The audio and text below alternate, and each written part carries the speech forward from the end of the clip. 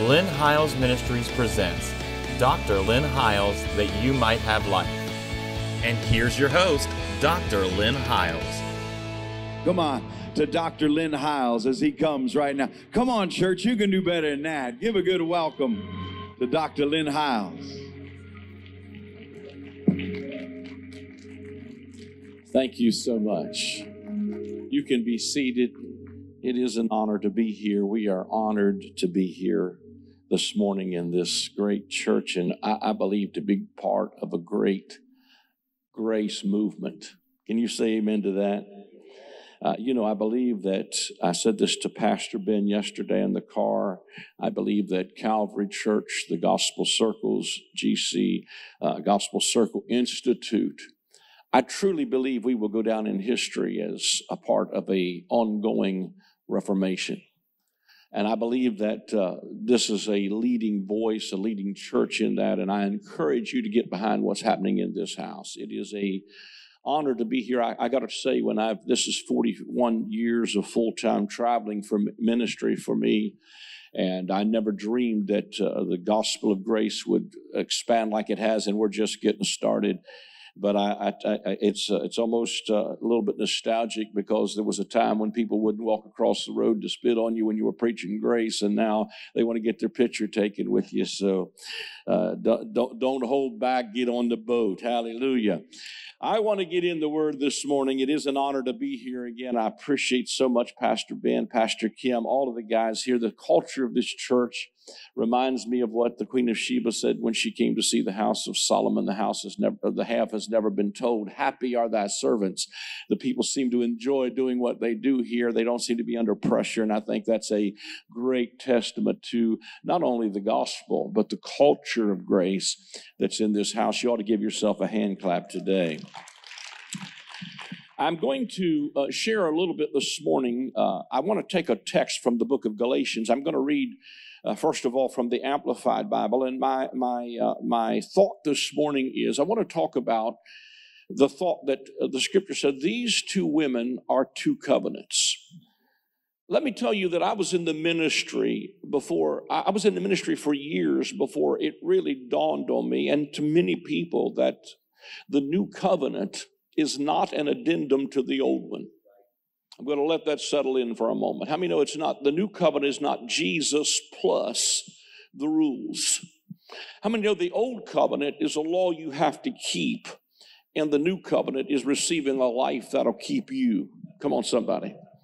How many of the old covenant is about rules, and the new covenant is about a relationship? The old covenant motivates you by fear, and the new covenant you are moved by faith. Hallelujah. How many know under the old covenant you do it because you have to, in the new covenant you do it because you fell in love with somebody? And I believe the real gospel will give you back your life. And the reason I'm so passionate about it is because I believe it gives people back the abundant life that Jesus really intended for us to have. How many know He did? You know, we have offered the gospel and wonder why people don't come to it by the droves. Like, come to Jesus, He'll pull you through and not hold backwards you know, you have to go through all kinds of stuff. And I was like, that, that's real appealing there. You know, I'm already going through some stuff. But how many know that Jesus said, I came not just to give you a ticket to heaven after you live 70 or 80 years in misery here on earth trying to suffer through this thing, but I came to give you life and that more abundantly. And he said that that life would become the light. The writer of Deuteronomy said, I want to give you as the days of heaven on earth. And I used to think that the gospel was simply about how I get from here to there if I could keep all the rules. And I do believe there's a there, but the, the, the, reality of it is, is the gospel is not about how I get from here to there. It's about how I get what's happening there to operate here. It is God saying, I want to give you as the days of heaven on earth, thy kingdom come, your will be done in earth as it is in heaven. And when you first get a hold of the gospel of grace, this sneaking grin gets on your face like this is too good to be true. And you just ride down the road, almost lean back in your seat thinking this is too good to be true, but it is. And then you start to realize, man, I just want to share this with everybody. Hallelujah. I want everybody to get it. Let me take a text here this morning because we're going to uh, share in this first service. And there's several services today. Galatians 4:21 from the Amplified it says, "Tell me, you who are bent on being under the law, will you listen to what the law really says? For it is written that Abraham had two sons, one by the bondmaid and one by the free woman. But whereas the child of the slave woman was born according to the flesh and had an ordinary birth, and the son of the free woman was born in fulfillment of the promise. Verse 24 says, Now all of this is an allegory, it's a picture, it's a story. It's trying to show us something. Now, all of this is an allegory. These women represent two covenants. Say that with me. These women represent two covenants. One covenant originated from Mount Sinai, where the law was given, and bears children destined for slavery. This is Hagar. How many know the law was given on Mount Sinai? Now, Hagar is and stands for Mount Sinai in Arabia, and she corresponds to and belongs in the same category with the present Jerusalem, for she is in bondage together with her children. But the Jerusalem above, the messianic kingdom of Christ, is free, and she is our mother. For it is written in the scriptures Rejoice, O barren woman who has not given birth to children. Break forth into a joyful shout, you who are not feeling birth pains. For the desolate woman has many more children than she who has a husband. But we, brethren, are children, not by physical descent, as was Ishmael, but like Isaac, born in virtue of the promise. How many of you have been born again today based on the promise of God? Come on.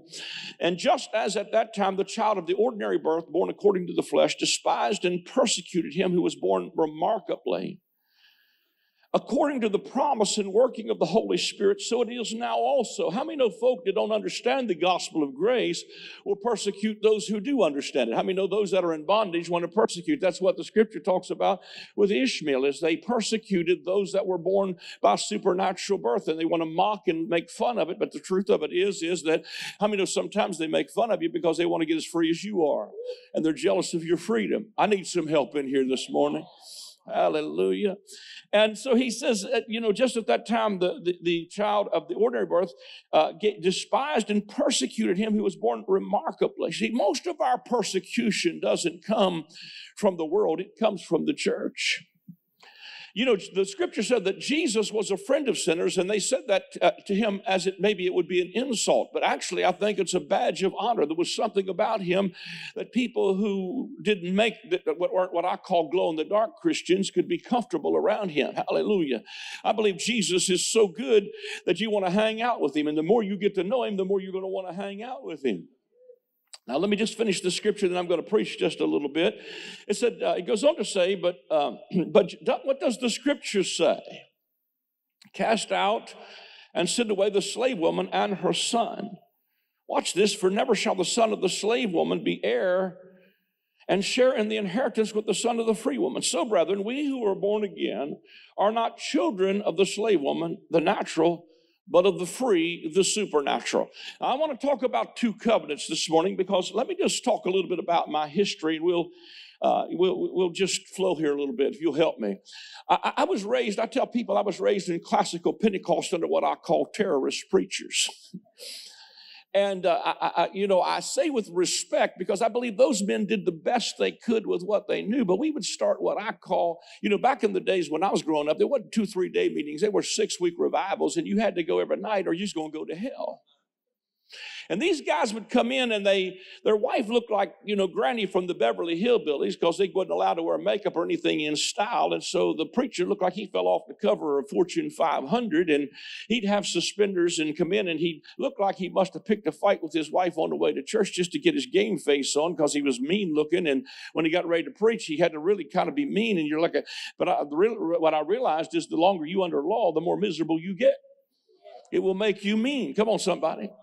And then they would come in and they would put, stand up to preach, and I would be excited about revival because we're going to start a six week revival. And this dude would pull his pants about midway up his chest, his glasses down on his nose, and he'd rear back and say, You want me to name sin? You got to hack a little bit when you do that. I'm going to name it for you this morning. Some of you women came in here with makeup on your Jezebel face, ah, head levelers on your head. Ah, you got a television set up in your living room. Ah, you eating deviled ham, devil food cake, deviled eggs, and you wonder why God. You got to stretch God out. God ain't moving in the church. It's because you want to compromise, and you got to shake your jaws when you say compromise. And I thought, my God, I thought I was saved when we started, but my Lord, if if devil food go take cake gonna take me to hell, then I probably don't got a real good chance at all. We shot our television. We called it a television set. Devil's horns on your roof. You watching that television? That was when Andy Griffith was on, man. We've come a long way, baby. Now I'm on it five times a week. Hallelujah. We used to preach against devil food cake. We used to preach against Coca-Cola. I don't want to get sidetracked here too long, but I, you know, we preach against Coca-Cola. I said to my pastor one day, I hope they're sorry for me to say this. I said to my pastor, what about a Coca-Cola is going to take me to hell? He said, son, he couldn't even talk to him in his regular voice, had to talk in his preacher voice, you know. Son, you drinking that Coca-Cola from a bottle and it's going to make somebody think you drinking something else and it's going to ruin your testimony. And I said, well, then why don't we preach against root beer? That's in a brown bottle. And he looked at me and he said, Son, that Coca Cola is shaped like a woman, and it's liable to make you lust. And I'm 16 years old, and I said, Thanks for that image. So I, I struggled with Coke till I got in my 40s. Y'all don't want to help me preach in here this morning. Then they came out with three liter bottles and I got over it. Hallelujah. But I thought yesterday, as we were talking about, I think it was Pastor Chris's daughter's graduating high school. I thought in my own gr- uh, growing up, it was it was a sin to go to your high school prom. You couldn't dance, you couldn't see a movie. We have come a long way, but how many know that was all stuff that wasn't even even. We preached, we sent people to hell for stuff we wouldn't even send them to jail for in America. Come on, somebody. And it was stuff that wasn't even in the Bible that somebody heard somebody else say, but it was a covenant that always alienated you from God. It was a treadmill of performance. It was always lies that kept you away from, from the presence of God. And you wonder why I, I talk about sometimes we have what we call creasters that come to our church. You say, what is that? That's people who come Christmas and Easter. And I don't blame them because the two times they do come, we gang up on them and beat them up and tell them how dirty, rotten scoundrels they are and how bad of sinners they are.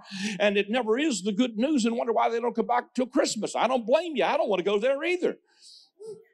Come on. How many know what the gospel is really the good news? And the good news, come on, is not that you're a dirty, rotten scoundrel. The good news is because, listen, the Old Testament is about what you do, the New Testament is about what He's done. Hallelujah. The Old Covenant was full of demands with no supply, but the New Covenant is full of supply without any demand. And the more you start to understand that, the more you start to fall in love with a Jesus who's not out to take your life. He wants to give you the best life on the planet. And so I thought, you know, as I listened, as I thought about this, these two women are two covenants, man, I just want to grab a, a couple real powerful thoughts for us this morning. But Hebrews, the 11th chapter, verse 8 says, By faith, Abraham, when he was called, called to go out into a place what he should after receive for inheritance, obeyed and went out not knowing whither he went. By faith, he sojourned in the land of promises in a strange country, dwelling in tabernacles with Isaac and Jacob, the heirs with him of the same promise. For he looked for a city which hath foundations, whose builder and maker is God. Watch this. This is what I'm after. Through faith, also Sarah herself. Watch this. God never attributed Isaac to the faith of Abraham he attributes it to the faith of Sarah. By faith, Sarah herself received strength to conceive seed and was delivered of a child when she was past age because she judged him faithful that promised. Come on, somebody. Some of you got some promises that don't look like anything's happening. Some of you may look like what Galatians said sing, O barren, that there ain't nothing happening in your life and there doesn't even seem to be any fruit in your Christian journey. But I want you to know something. It's not about you, it's about Him. If you'll judge Him faithful that promised, it's not about what you can produce. Come on, it's about what He's doing inside of you through the union with Him and through the intimacy that you have in relationship. And so Sarah herself received strength to conceive when she was past age because she judged him faithful who had promised. Therefore, there sprang even of one, watch this, and him as good as dead. You know, when the Bible say you as good as dead, and or the Bible say you old, you old. My mother said to me back uh, before she passed, she said, Have you noticed there's not very many old people around anymore? I said, Mom, when there's nobody above you, you are the old people. How many know the older you get, the more your concept of old changes? Now, I want to put some context to this. Sarah's 90 years old. Abraham is 99. So when the Bible say he's as good as dead, and he, we'll get over here and look at it in Genesis for a moment, but it says he was well stricken in years. When the Bible say you old, you old. Hallelujah. Now, like I said, my concept of old changes real quick. I used to think people my age was old. Now I'm start thinking, hallelujah, I'm looking for anybody that's older than I am, way up there, you know. I just had a friend who was a pastor in Pittsburgh and she passed away last year. She was 103 and a half when she passed away, still wore makeup and high heels wasn't on any kind of medication. Hallelujah. Took a trip to Africa when she was 100. I, I, that's some good stuff right there. Hallelujah. Now, I don't know about you, but I, am in my 60s. I won't tell you exactly how old I am, but I can't imagine having a baby when I'm 90. Oh, y'all don't want to help me preach. I don't know if that's a blessing or a nightmare. My son uh, and his wife, my son is 40, I think 45, and, and uh, they have a two year old. I can't imagine having a two year old even at age 45. When I was 45, my son was living in Columbus, Ohio, working in a ministry. So I'd hate to start over at 45. I don't know at 90 if a baby's a blessing or a curse. But it was the promise of God. And, and, and so it said that, uh, you know, out of this woman, a matter of fact, there are four women that are mentioned in the lineage of Christ in, in Matthew, and all of them are surrounded by some kind of either difficulty or scandal. I won't go into that. But I do want to read this, this, this uh, story a little bit from uh, Genesis, and we're going to try to make a few comments about these two women and then get out your road here this morning. But it says in Genesis 17, God said, Sarah, thy wife, shall bear thee a son, indeed, and thou shalt call his name Isaac. And I will establish, I will, will establish with Isaac, which uh, uh I, I lost my place there. It says, and I will establish my covenant with him for an everlasting covenant with his seed after him. And as for Ishmael, I have heard thee. Behold, I have blessed him and will make him fruitful and will multiply him exceedingly. Twelve princes shall he beget, and I will make him a great nation. But my covenant will I establish with Isaac which Sarah shall bear unto thee at this time of, in the next year. And he left off talking with him, and God went up from Abraham. And Abraham took Ishmael his son, and all that were born in his house, and all that were bought with his money, every male among them uh, of, of, of Abraham's house, and circumcised the flesh of their foreskin in the self same day. And God said unto him, and Abram, Abraham was 90 years old and nine when he was circumcised in the flesh of his foreskin. I don't know if I want to go to this church. I saw a meme on Facebook the other day. It was a guy with a real bad look on his face, and it said the guy that arrived one day before Paul's letter got to church at Jerusalem about we don't have to circumcise people anymore. but how many know being under laws is just about like that? Come on, somebody help me just a little bit. It can be painful. But see, let me just say this to you Ishmael represents the old covenant, what you can produce. And I want to say this as well, because the scripture says that Abraham never staggered at the promise of God. That means to me that he produced Ishmael by faith. You say, what do you mean, Brother Hiles? What I mean is he took his faith and went to Hagar's tent. Make it plain, Dr. Hiles. I mean, he took his faith and mixed it with an old covenant paradigm, and what he produced looked holy in the face, but it had the heart of an Egyptian beaten in its breast. And God said, This is not what's going to be the heir. What you can produce with your faith and your works and your labor and your sweat and your human performance, come on, somebody, is only going to persecute something a little bit later. And if you don't think your personal choices make any difference, that one trip to Hagar's tent 2,000 years later, what's happening in the Middle East now, right now, is them still fighting each other over one trip to Hagar's tent. If you think it don't make a difference what you do, you might ought to rethink that. Come on, somebody. And I really think even a lot of our political problems would go away if we start preaching the right covenant because it affects everything and how people think on every level. I'm going to tell you, there is a massive reformation going on. There's a movement called grace. Uh, somebody's going to be captured by it after a while, and they're going to begin to walk in a different way and say, Listen, man, I have taken my faith and tried to hold my mouth the right way, say it the right way, and I'm not against the word of faith. I'm just saying if you have faith and don't have grace, uh, you're going to get out of balance. Uh, and if you have grace and you don't mix it with faith, you're going to, because it's not either or, it's the dynamic duo. It is by grace through faith. Uh, and when you get grace and you realize what God's already done for you, who He's already made you to be, who you're already in union with, who already lives inside of you, once you know who you are, come on, somebody, and you start to believe it, what you do won't happen out of trying to be something, it'll happen because you already are. Hallelujah. Now, let me come on back here just for a moment to set the stage for this because God drops back by. He gives him the promise of God, tells him it's not going to be Ishmael that's going to be the heir.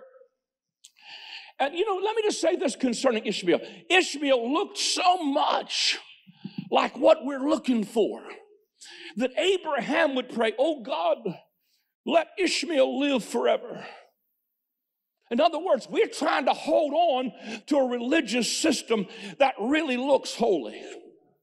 It looks good. It looks like Abraham in the face but it's got the heart of an Egyptian. It's full of bondage. It's a slave mentality. It's not a sonship mentality. It's an orphan mentality that don't know that God is Abba. He is daddy. He's not an old man on a Victorian chair with a club in his hand ready to slap you upside your head. He's a good, good father. Hallelujah. And he likes to dote on you. He likes, as a matter of fact, it is his good pleasure to give you the kingdom. That's how God enjoys himself. My response is, come on, hallelujah. Enjoy yourself today, Abba. Hallelujah. Enjoy yourself. Give us the kingdom. Now, let me go on down through here, but it goes on to say that God began to drop by. He was 90 years old, nine, when he got uh, when he got circumcised. God drops by the tent. I'm going to skip through some of this a little bit, but the, the, the angels of the Lord come back by his tent a little bit later in the same chapter, or chapter 18 the Lord appears to him in the plains of Mamre in the tent, and he goes and he tells Sarah, he says, Go dress a kid and get, bake ready some cakes. In verse 9 of chapter 18, he, it says, and, and they said unto him, Where is Sarah thy wife? He said, where, where is Sarah thy wife? And he said, Behold, in the tent. And he said, I will certainly return unto thee according to the time of life. And lo, Sarah thy wife shall have a son. And Sarah heard it in the tent door, which was behind him.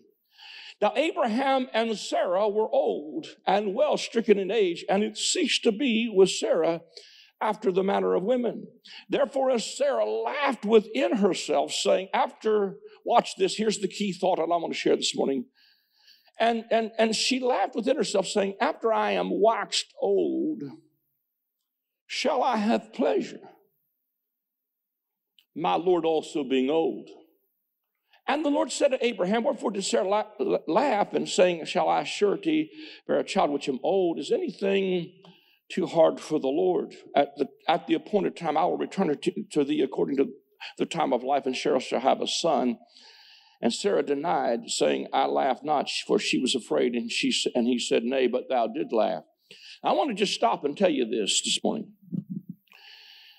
Sarah is in the tent. And they, listen, do you think this is the first time in 90 years they've ever tried to have a baby?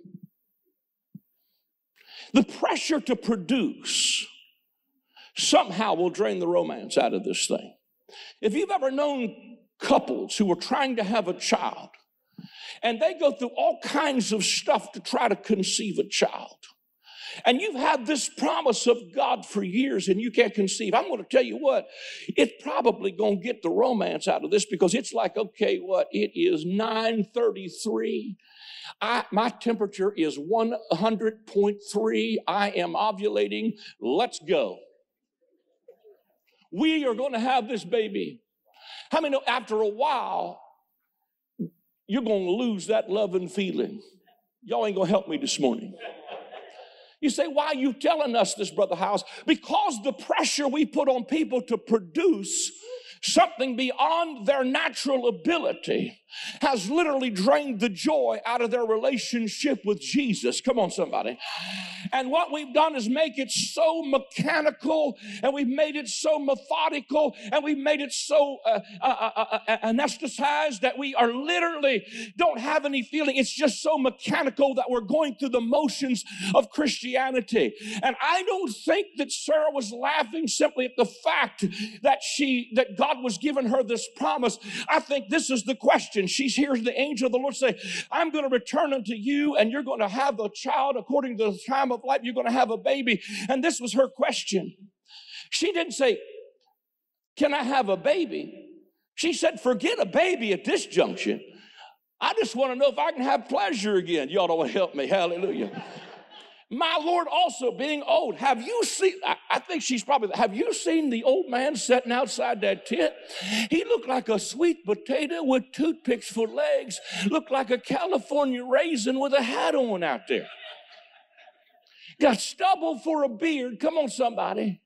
And I just want to know at this point, I want to know not can I have a baby, I just want to know if I can have pleasure again with my Lord. Y'all hear where I'm coming from. I want to know if, oh, hallelujah, I want to know if I can start to enjoy the journey again. I want to know if I can get my joy back. Hallelujah. I want to know if I can get my peace back. I want to know if I can, listen, can I tell you when I got an understanding of the grace of God and I started understanding that my righteousness was not on the basis of my performance, can I tell you my peace started to come back? And when my peace started to come back, I started to get a sneaking grin on my face like I'm not in, I'm not out, I'm not, he loves me, he loves me not. I hope I die and he loves me. He loves me, he can't stop loving me. It's a divine romance. Uh, it is a joy. It is an enjoying the journey. Come on, somebody. Hallelujah. And the moment I realized I was righteous, I got my peace back in the third dimension started to hit me.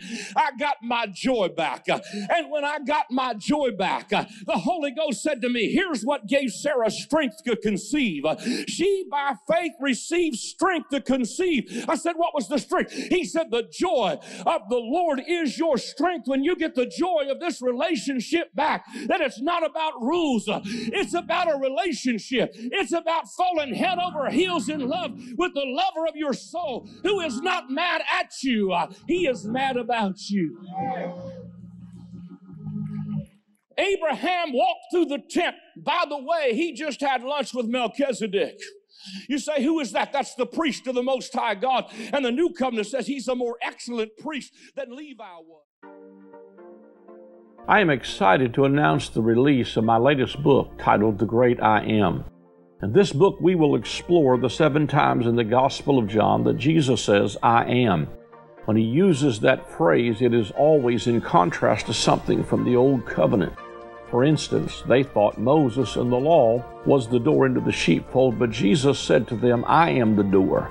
They thought that Israel was the true vine, but Jesus said to them, I am the vine, you are the branches. As you read the pages of this book, you will discover that Jesus removed the covenant of death and replaced it with the covenant of life. Get your copy of the book, The Great I Am, today.